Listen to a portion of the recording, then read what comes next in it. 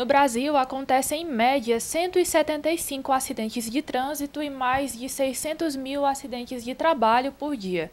Muitas das vítimas não fazem ideia de que podem recorrer a um benefício indenizatório, assegurado pelo INSS.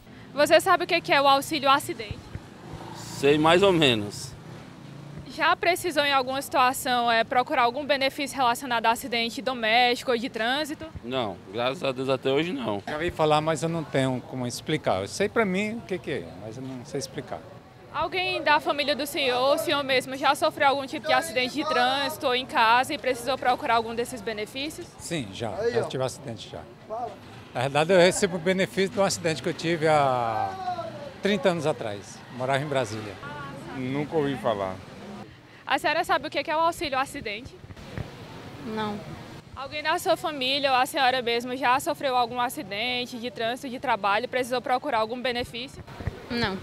Ouvi falar, eu já ouvi de pessoas que se acidentam na BR, que recebe um tipo um, um seguro. Só isso. Alguma pessoa ou o senhor mesmo é, da sua família já sofreu algum acidente de trânsito, de trabalho, precisou procurar alguma coisa do tipo? Sim, já. Meu irmão, que ele já sofreu um acidente e foi procurar o DPVAT, entendeu? Aí recebeu.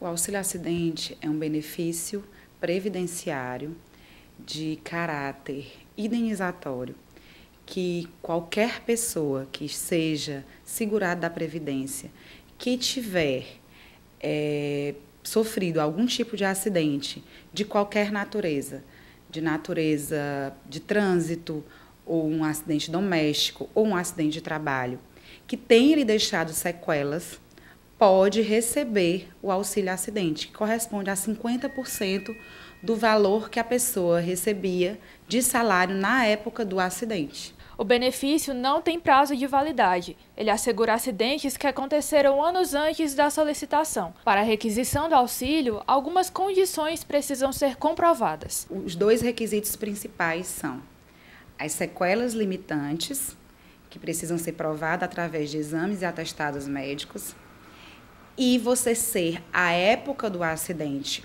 ou a época que você adquiriu aquela doença ocupacional você está segurado da Previdência. Doutora, quem são os segurados da Previdência? São pessoas que estão em atividade, com carteira assinada, ou os segurados especiais, um trabalhador rural que não precisa é, comprovar, que precisa comprovar a sua atividade, entretanto, não paga mensalmente ao INSS.